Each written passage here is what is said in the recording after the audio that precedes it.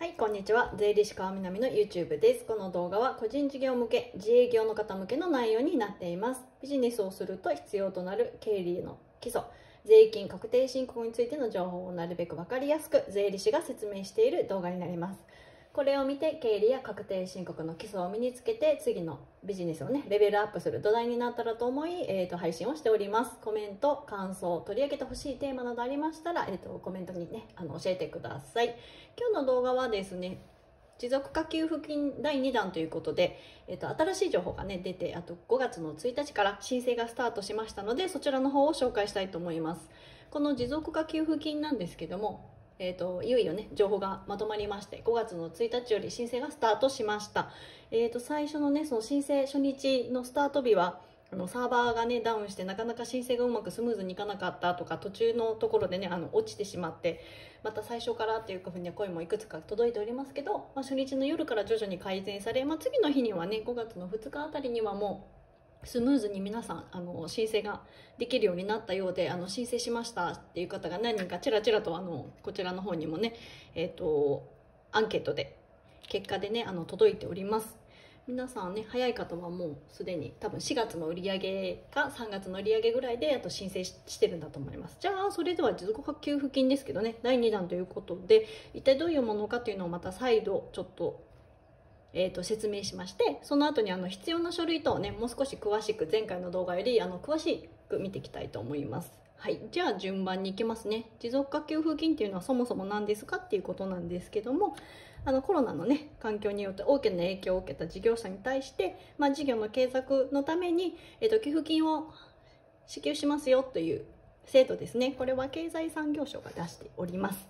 で給付額についてなんですけど法人は200万円個人の方は100万円を上限です。これ全額じゃないですのでお気をつけてください。上限ですね。でその計算方法なんですけどもこれですね前年の売上なので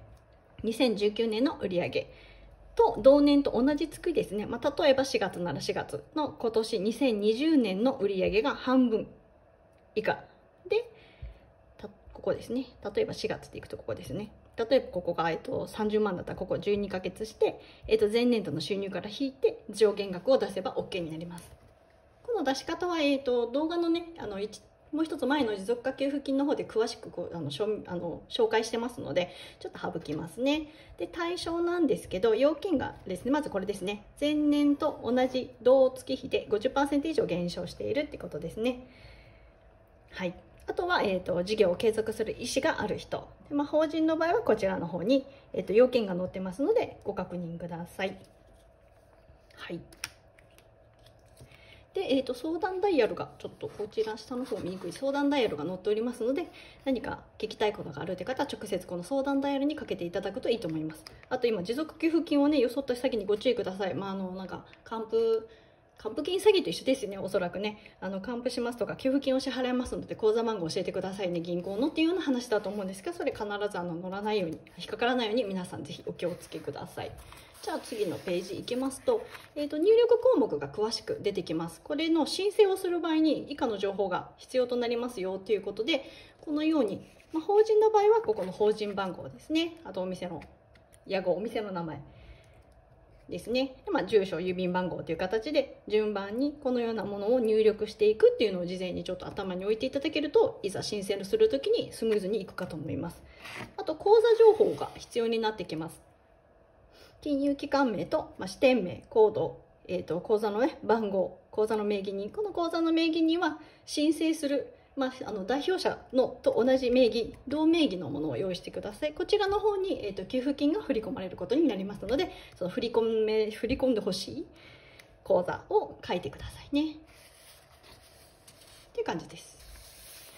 で申請に必要な書類多分皆さん気になってるのが一番ここなんじゃないかな。どんな書類がいるのかなということだと思うんですけども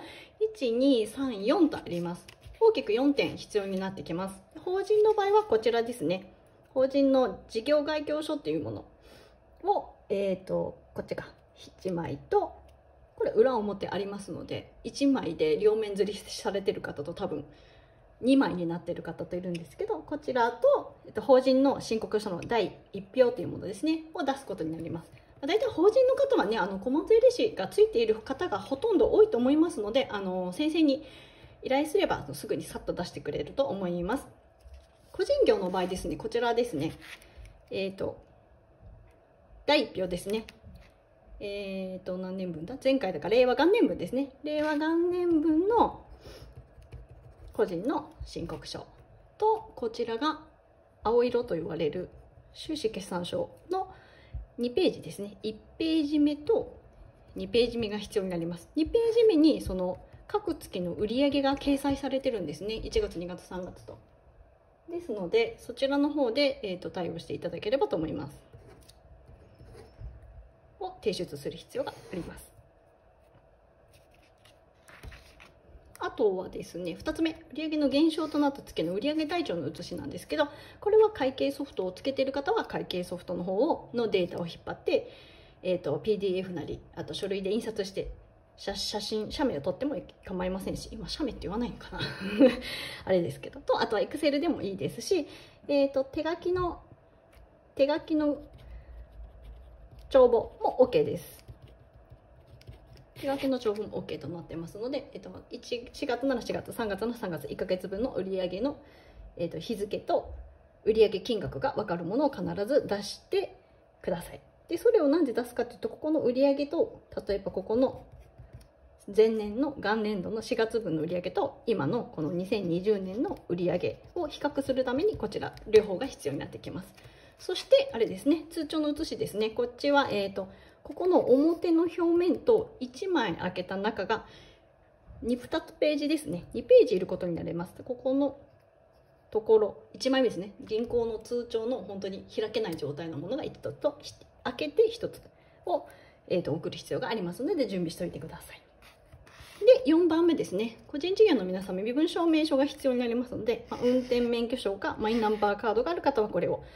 基本的に、まあ、1つ種類があれば足りるかと思います。だ大体の方がこの運転免許証とマイナンバーカードどちらで、どちらかで行くんじゃないでしょうか。これとかね。はい。なので、まず申請する前に、えっ、ー、と、この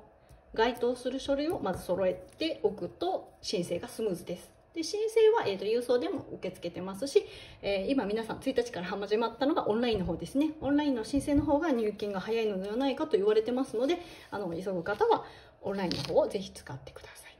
はい、で最後のこれページですね。申請方法ですね、えーと、持続化給付金のホームページアクセスします。こちらですね。持続化給付金で検索するとあの申込書が出てきます。で申請ボタンを押してメールアドレスを入力仮登録をします。で入力したメールに、えーと、メールが届いているのでそれを確認して本登録をいたしますその後に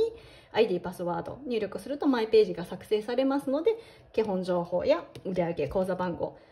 あの順番に添付書類をアップロードすることができますのでそちらの方の指示に従って順番にやってください。ですね。で、5番目にこれ、ね、必要書類を添付ってありましたけど、ここですね。先ほど言った準備した書類を、えっ、ー、と、添付します。で、スマホなどの写真画像でも OK。できるだけ繊細にね、鮮明に、繊細じゃない、鮮明に綺麗に撮ってください。そして申請ボタンを押すると、えっ、ー、と、事務局の方で申請内容を内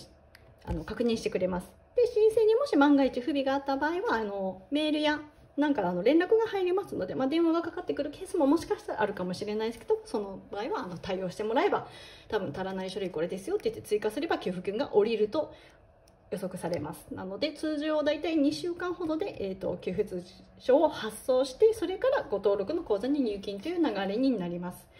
はい。今日はねこんな感じで簡単に説明しました。でこの,、えーとこの持続化給付金の申請方法っていうのがえーと、経済産業省の方から動画で YouTube の方にあの親切ですね、ほんと最近はね、なんかもうなるべく分かりやすいようにしてくれてるんですけども、えーと、動画でね、あの申請方法、実際のそのホームページの動画とその実際のページ見ながらこういうふうにやっていきますよっていう流れを説明した動画がありますので、そちらを、えーと YouTube の詳細のところにもあの紹介して貼っておきますのでそれを見ながらとかもしくは見るやる前に見てからやると,、えーと、スムーズにできるかと思います。はい、じゃあ今日は持続化給付金の追加バージョンね第2弾ということでお話をいたしました。はいですね。でねえーと、今ちょっとあの Facebook のグループページの方で実は、えーと、参加無料でどなたでも参加できるんですけど、えーと、コロナの、えー、と支援情報の共有グループっていうのを、えーと、資料の先生弁護士と私税理士と,、えーと、行政書士の先生3人で立ち上げてどなたでも、えーと、無料で参加できる北陸版なんですけどちょっとそこだけねあの北陸版っていうことだけご理解していただければ県外に住んでる方ももちろん入れるんですけどそこで、えー、といろんな資料の方から、まあ、社労士の方から、えー、と情報が来たりとか、まあ、他の税理士の先生が情報を投稿していてくださったりとか他なんかの情報を持ってるような公の機関に働いているような方からの情報を皆さん投稿してくれてますのでのでかなりねコメント欄にもあの実務的な内容とかちょっとヒントになるようなあのコメント有料コメントがたくさん入っておりましてすごく役に立ちますのでもしねあのそちら、えーと、Facebook グループなんですけどコロナ支援情報共有グループっていうのもありますのでもしよければグループにリクエストを検索してねグループにリクエストしていただけるしていただければと思います。はい。私の何やろ？Facebook どうやっていけばいいんかな？あ税理士川南のホームページってかあの調べていただくとそこに、えーと、SNS の各紹介があるんですね。インスタグラム、ツイッター、フェイスブックみたいな。そこから入っていただけると,、えーと、検索されできるんじゃないかと思います、はい、一応あのページの情報も貼っておきます。まあね皆さんが皆さんフェイスブックされてるわけじゃないと思うんですけどもしフェイスブックされている方がいましたらそういうこともやっております。今。本当にね、あの頼りになる弁護士の先生とあの私と業者書士の先生とであの皆さんで本当助け合ってもうみんなで情報であのコロナの影響を少しでも少なく、ね、被害を少なくしようという思いで立ち上げたグループですのでぜひあの周りのビジネスしている人たちにも、えー、と教えてあげてくださると嬉しいです。はい今日はじゃあちょっと長くなりましたが以上にしようかな。まあ、あとそうそう税理士川南会議室のオンラインサロンの方もやってますのでそちらはまたもう少しね突っ込んだ情報を流してみたりとかこうこれからのコロナの世代をどうやってビジネスを、えーと、ビジネス上の点で生かしていけばあの生き残れるのかとかサバイバルできるのかっていうようなちょっとねちょっと先をもう少し先を見た情報をオンラインサロンでは、えーと公開しております。またそういうふうにね興味がある方はぜひオンラインサロンも、えーと、YouTube の動画の詳細のところにリンクを貼っておきますので参考にしていただけると嬉しいです。チャンネル登録もぜひ、えーと、お待ちしています。今2300人になったのかな？いつも皆さん本当見てくださってありがとうございます。本当に助かっております。それがねあるからこそも続けれるということで、ね、コツコツ。ちょっと最近あのあれ動画の投稿がちょっと滞りがちですけどね。また頑張って引き続きしたいと思います。また最近はねコロナの影響によるあの支援とかそういう情報がたくさん出てきていますのでちょっとしばらくねその経理とかっていう方よりもそちらの方の、えーと、情報を投稿していきたいなと考えております。ではまたよろしくお願いします。またの動画でお会いしましょう。税理士川南でした。